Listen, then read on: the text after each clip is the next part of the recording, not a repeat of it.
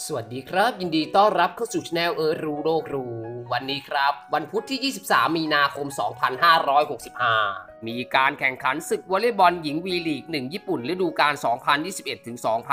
2021-2022 เป็นนัดตกขางจะมีโปรแกรมการแข่งขันทั้งหมด 2 คู่ด้วยกันครับ คู่แรกจะเริ่มแข่งขันกันในเวลา 11.00 น ตามเวลาประเทศไทย เป็นแมตช์การแข่งขันกันระหว่างไซตามะอาเกโอะมิดิจะพบกับโทเลแอโร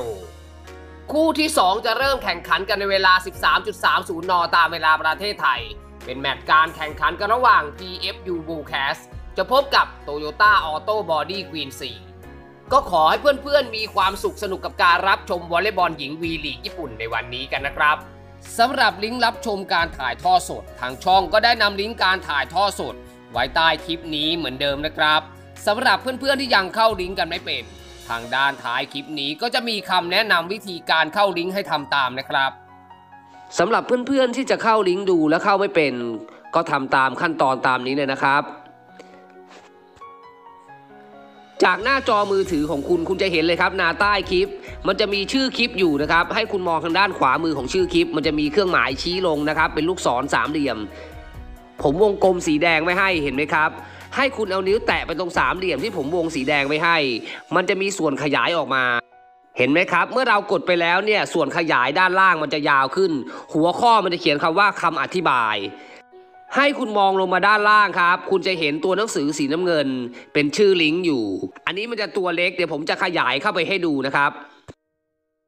เห็นไหมครับ เมื่อผมขยายหน้าจอขึ้นมาให้ดูแล้ว คุณจะเห็นครับด้านล่าง ตัวหนังสือสีน้ำเงินนั่นคือลิงก์การถ่ายทอดสด ผมจะเอาวงสีแดงวงไว้ให้ คุณก็เพียงเอานิ้วไปแตะตัวหนังสือสีน้ำเงินนั้น เลือกสักลิงก์ใดลิงก์หนึ่ง ถ้ามันมีลิงก์เดียวก็อันนี้ก็มีลิงก์เดียวคุณก็เลือกอันเดียว ถ้ามีหลายลิงก์คุณก็เลือกลิงก์ใดลิงก์หนึ่งนะครับ เสร็จเรียบร้อยแล้ว มันจะพาคุณเข้าไปสู่การถ่ายทอดสดนะครับ